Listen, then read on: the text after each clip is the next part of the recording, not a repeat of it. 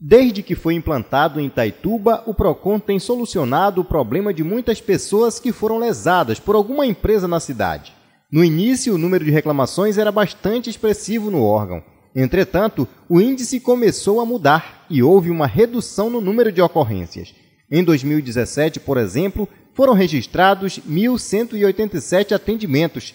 Já de janeiro a junho deste ano, foram apenas 1.044, um resultado bem satisfatório para a direção do órgão. Ah, o PROCON ele continua com o atendimento aos consumidores né, no horário comercial, na verdade das 8 às 14, né, aqui no novo endereço, é, na 20 rua entre São José e Raimundo Preto.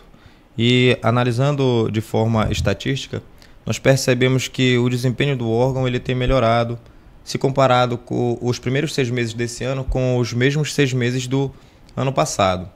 Ah, nesse primeiro semestre, né, nós conseguimos registrar mais de mil atendimentos aqui no, no PROCON. A concessionária de energia elétrica Celpa ainda é considerada a que tem o maior número de reclamações, mas também houve uma redução, caindo de 82% para 62%, o que significa que a empresa melhorou a qualidade de seu serviço.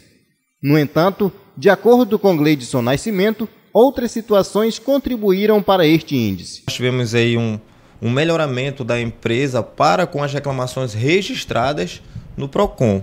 Né? Isso não somente porque a empresa melhorou, vamos dizer assim, mas também porque o número de reclamações contra as demais empresas, contra outras empresas, aumentou aqui no nosso órgão. Hoje o consumidor itaitumense ele não vem reclamar somente de energia elétrica, ele vem reclamar de taxa de juros abusivo, né, de empréstimos consignados que desconhece, ele vem reclamar de telefonia celular, principalmente porque algumas operadoras não têm o ponto de atendimento aqui em Itaituba e nós temos um espaço de indireta exclusivo só para atender telefonia. A redução nos atendimentos tem se dado devido ao melhoramento no serviço das empresas que passaram a obedecer com mais frequência as normas de defesa do consumidor. A orientação do PROCON para o consumidor que, caso seja lesado por alguma empresa, que procure a mesma para resolver a situação da melhor maneira possível.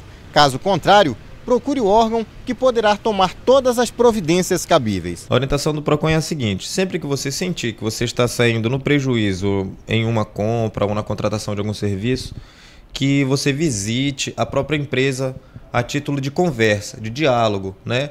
Acredito que um diálogo ele é sempre bem-vindo quando se tem um conflito. Caso é, não chegue a um consenso daquele diálogo e você ainda sinta que está sendo prejudicado naquela relação, você pode visitar o órgão de defesa, busque conversar com a empresa, né? Que você contratou o serviço ou comprou o produto.